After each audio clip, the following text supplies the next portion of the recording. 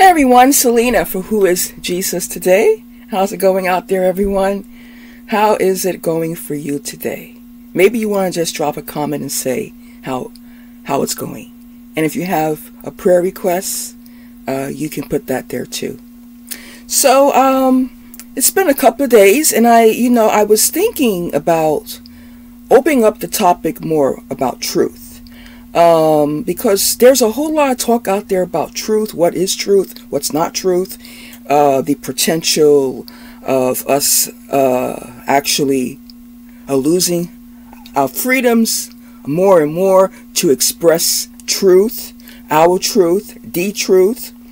And there's also a lot of controversy about what's true and what's not. And what's true for one person may not be true for another. So truth can also be subjective. Um, it depends on the relevancy, and there that's just that, that's just going to be true um, in different scenarios. But I want to say, as as uh, many of you know on this channel, what is my truth? What do I stand for spiritually as my truth? And that is that uh, Jesus is the cure for the world.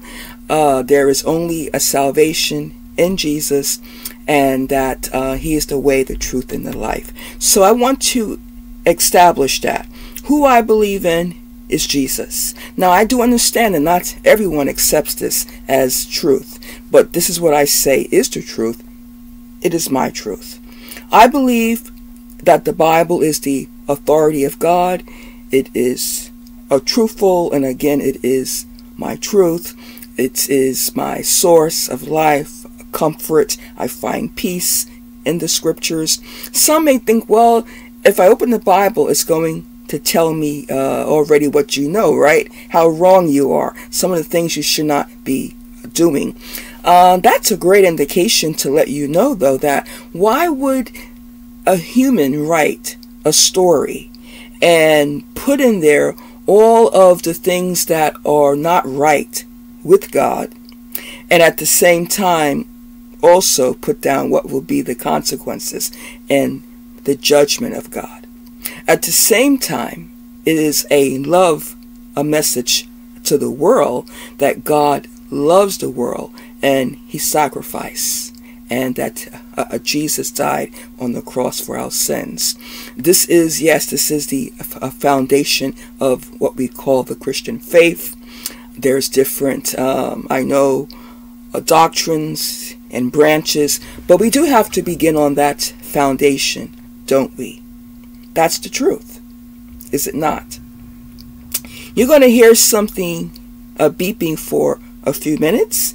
It has to be fixed, and just really ignore it because I'm not going to stop of the video. So, as you know, life happens. okay? And life can happen while you're making your video. So at, the, at this time, I'm going to let life uh, happen because, yeah, this is um, a situation that's here. And, yeah, you don't have to just pay it any mind. It's past. Okay. So, now, that's truth because that is uh, what you just heard, that sound, you actually heard it, right? No one has to convince you whether it's true or not. So as I was saying, God's word is a love a letter also to the world. John 3 16. I uh, will uh, put up some scriptures down in the link, and I will also uh, put up some uh, verses about what does the Bible say about truth.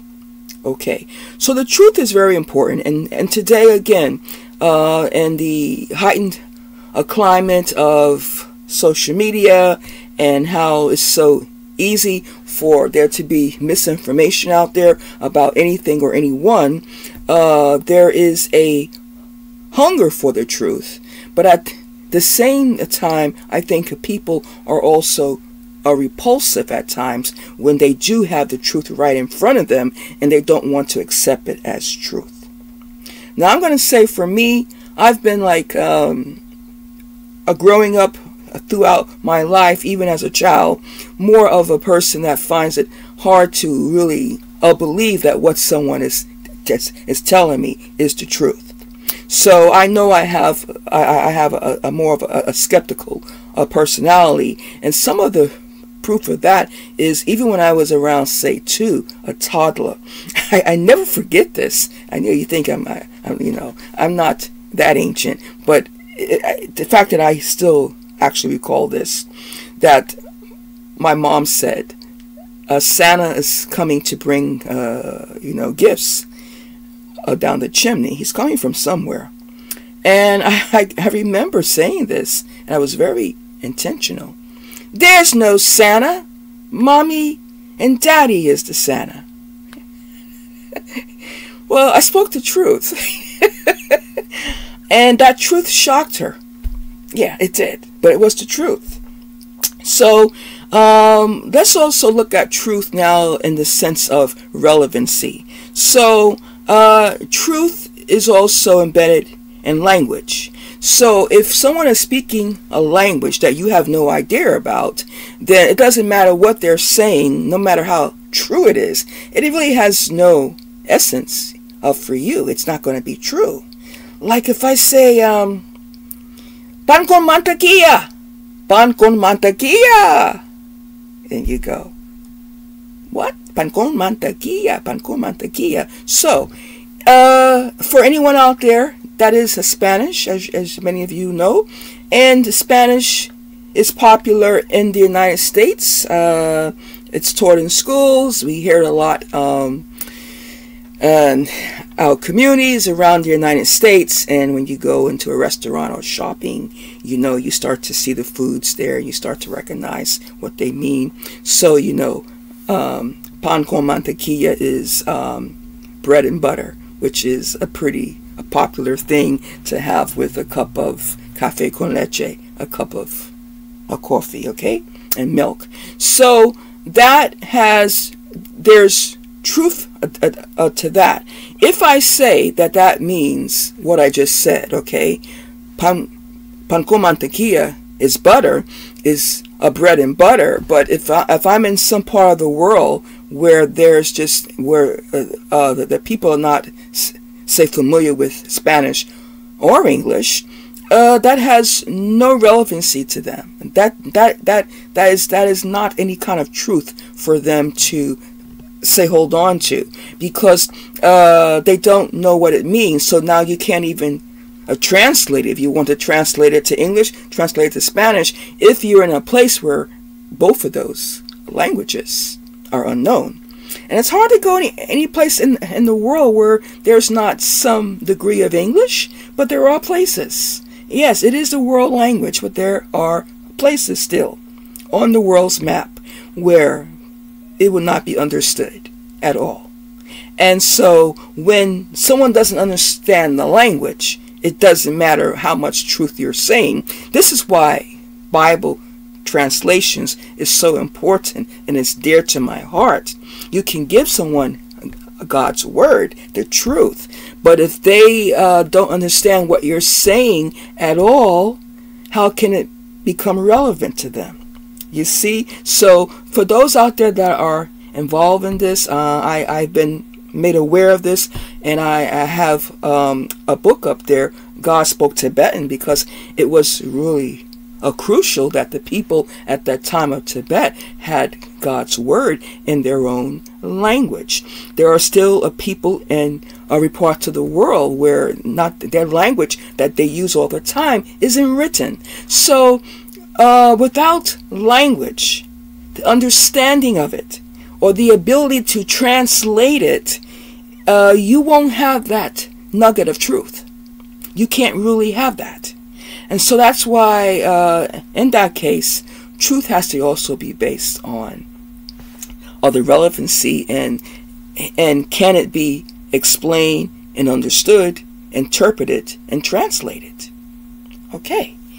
Uh, for those out there who need to use ASL, right? So you have to give them the truth within a language that they can understand, which would be ASL. So I just want to say that truth is something that we need. We need to hold on to it. We need to cling to it. But what is actually truth sometimes? So um, if you see someone doing something, if you catch someone in the act, then it's truth. I mean, if you see them doing something, then you don't have to be convinced. So when you see something with your eyes, uh, you can say what you have seen.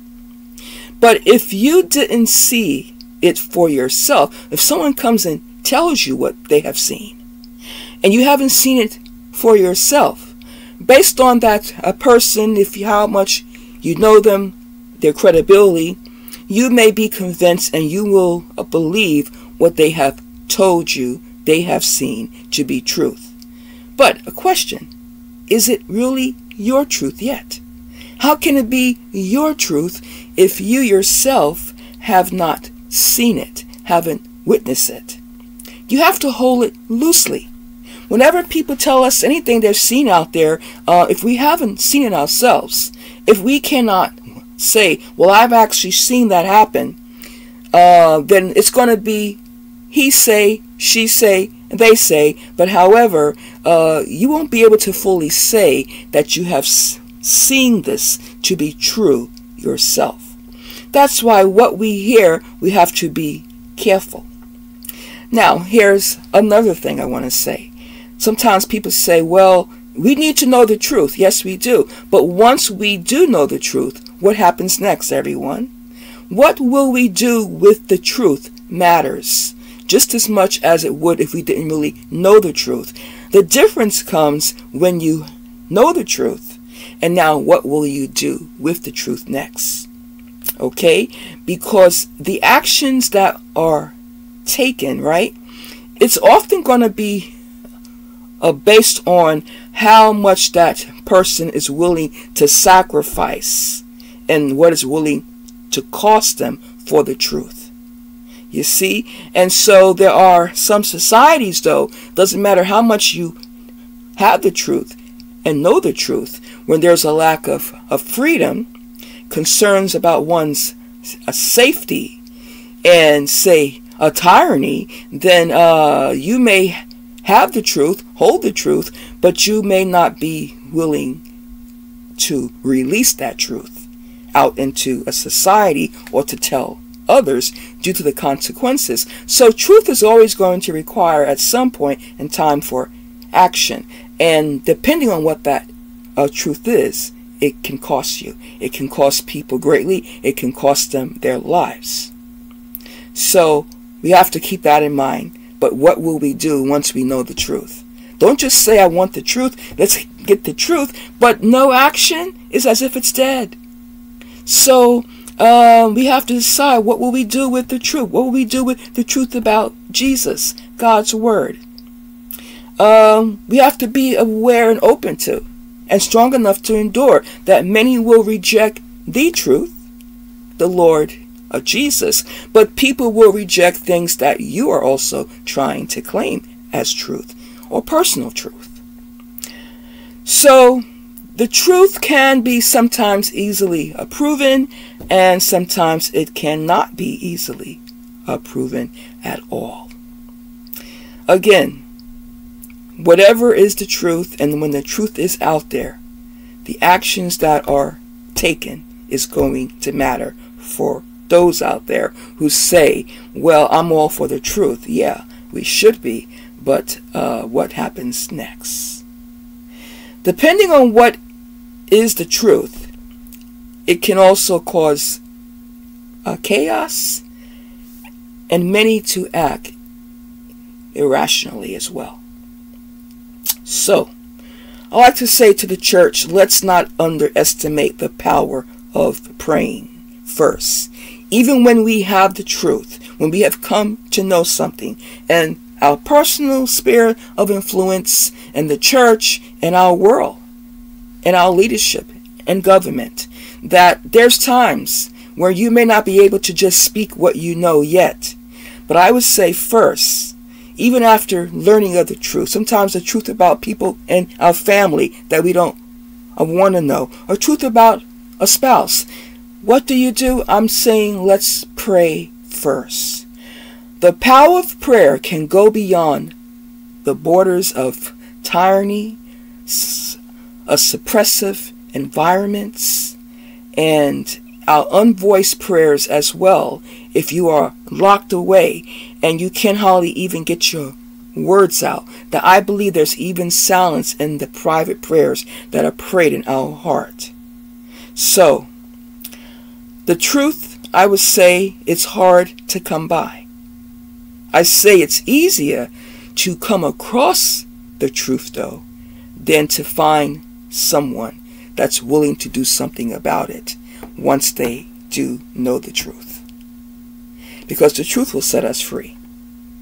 So I've gone over a, a topic that I think has multiple and multiple uh, layers uh, to it. I'm clear about what is my uh, biblical stance and foundation of, of, of truth and my personal uh, beliefs uh, spiritually.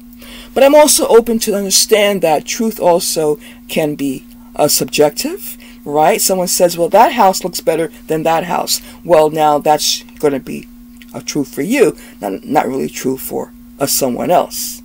Truth, when it comes down to language, if you don't know the language, you have no clue what someone is saying, then that truth is not going to mean anything. That's why we do need the uh, translations. We need to have a God's word uh, translated. I uh, I uh, I know I am also a fan of a King James, and you a King James a version.